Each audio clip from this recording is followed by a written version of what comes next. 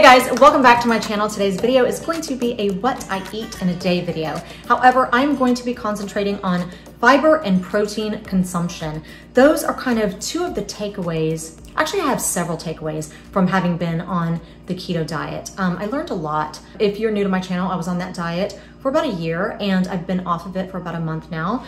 And so, but two things that I realized were really important, especially as an aging woman, is, is you know, our protein and fiber consumption. As a matter of fact, you know, just in case you don't know how much fiber and protein we're supposed to be getting in a given day as a woman, um, women are supposed to get anywhere between 21 and 25 grams of fiber a day and anywhere between 50 and 60 grams of protein a day. Now those are obviously averages, you know, it kind of depends on your height and weight and activity level and all that, you know, good stuff.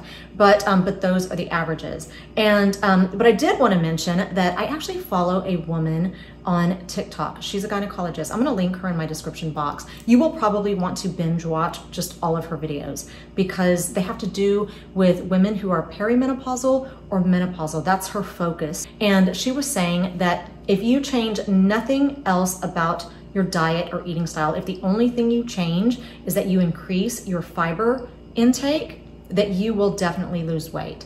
And I thought that was really interesting. And I have not put it to the test. I'm not trying to really lose weight, but I wanted to definitely pass that along. I did, however, do a quick little Google search, and there are studies and stuff to support that. There was one study that said that if women eat anywhere upwards of 30 grams of fiber a day, that, you know, will lose weight. And so anyway, I thought that was interesting. I know the holidays are coming up and, you know, we're probably all going to need to lose, you know, a few pounds after the holidays. So I just thought that I would, you know, share that with you guys. So anyway, let's go ahead and jump in. Let me show you what I'm eating for lunch and dinner and yeah, Okay, so this right here is what I'm having for lunch. Doesn't it look so delicious? Now I'm gonna go ahead and put somewhere here on the screen, you know, how much fiber and protein it contains, because that's, you know, what I'm trying to focus on today.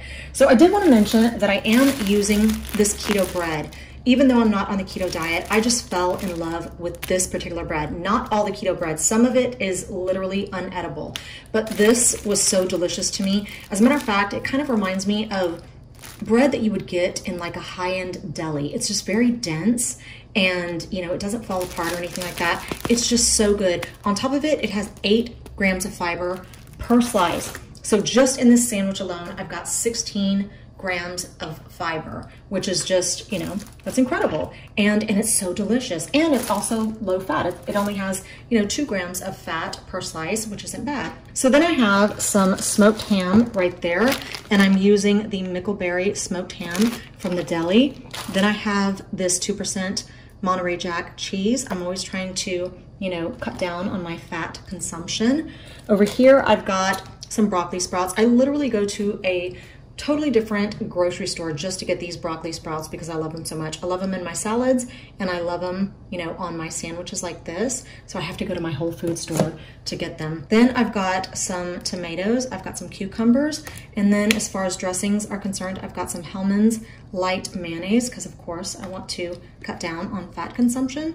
And then I've got my Dijon mustard there. Then right here, I've got a Honeycrisp apple. If you have never tasted a Honeycrisp apple, you are really missing out. I will never eat any other apple now that I've um, been spoiled by eating a Honeycrisp apple. Each bite like bursts in your mouth. They are so good. It's making my mouth water right now. So that's what I have on the side there. So then right here I have some yogurt. And I feel like every time I make one of these videos, I always have kind of a little DIY that I show you. And so today it's this one. This is yogurt. It's this yogurt right here. It's called Too Good. It's got two grams of sugar. It's got 13 grams of protein per three-fourths of a cup. I think I've got at least a cup right there. So it's more than um, 13 grams of protein and it's very low in carbs and it's got 90 calories. Now, one thing about this is that it's, it's vanilla flavor, but it's not a strong vanilla. I want it to be a little bit more of a strong vanilla. So I bought this right here. You can get these in your coffee section. I've got I've got it in vanilla and then I also have it in coconut. These are sugar free. I put one teaspoon in that amount of yogurt and it just really flavors it up so it's more of a strong you know vanilla flavor and it's just delicious so so yeah this is what i'm having for lunch today it is delicious and nutritious and I will see you back here at dinner time. Okay, so this right here is what I'm having for dinner. Y'all, this meal is so delicious and so filling. You know, obviously it looks like a lot of food, I think. Anyway, um, what I have here is I've got some chicken breast. Now, I always grill my chicken breast on the barbecue pit, and this is what I use. I use frozen chicken. I buy a huge five pound bag.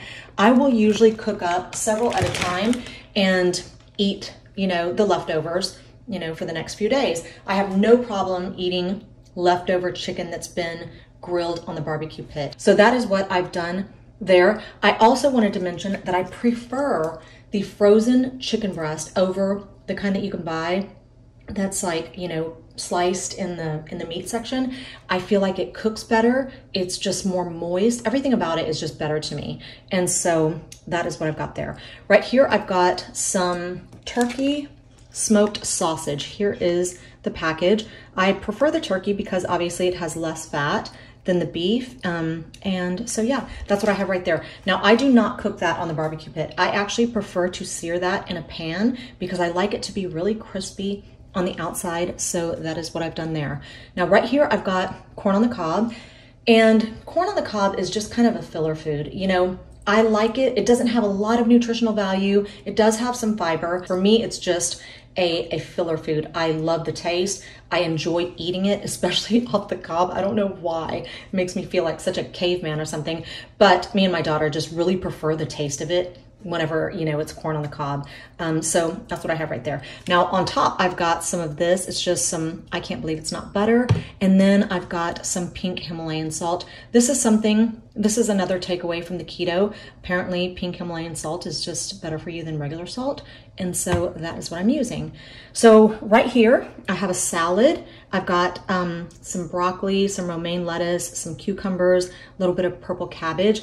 Now in order to cut down on the fat since dressing can be really fattening, I mix these two. This one right here only has three grams of fat per serving, and this one has 11 grams of fat per serving. I prefer the taste of this one. Now this is really good on its own also. It's a yogurt dressing. It's really good on its own, but I prefer this bacon flavor. And so when I mix them, I'm able to cut down on the fat and it's still, it actually, this one has a very powerful taste to it, so it ends up just tasting like that to me. Um, so my taste buds are really easy to please though. So then right here, this is something that I cannot wait to eat.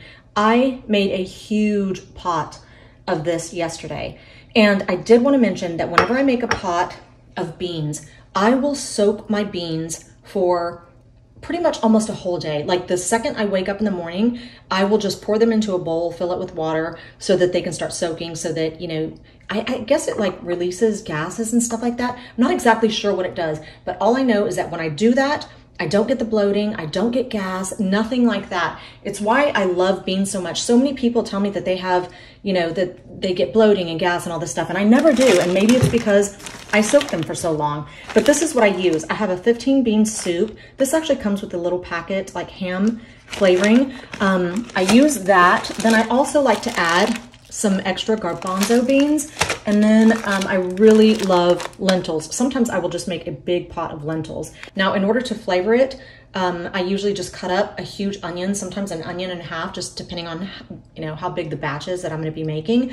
Um, to this time, I used some turkey bacon.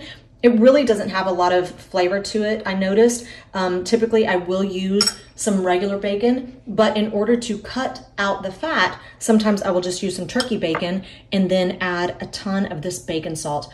My daughter actually prefers it this way, and this bacon salt is so good. I will put this just on my eggs in the morning. Like if I make a bowl of, you know, um, just a bowl of eggs, like scrambled eggs or something like that, I love to put some bacon salt on it and then like some cheese or something. But this stuff is so good. And so, yeah, I made a huge, huge pan and me and my family will eat off of it, you know, for three or four days. We just love it. It is such a comfort food for us. So anyway, um, yeah, this is what I'm having for dinner tonight. So that is all I have for you today. Thank you so much for being here. I always appreciate your time. If I do not see you before Christmas, which I can't guarantee that I will because I have family coming to stay with me and I just get so busy and it's really awkward to try to break away from family to go, you know, make a video or something like that. So thank you for watching and I will see you soon.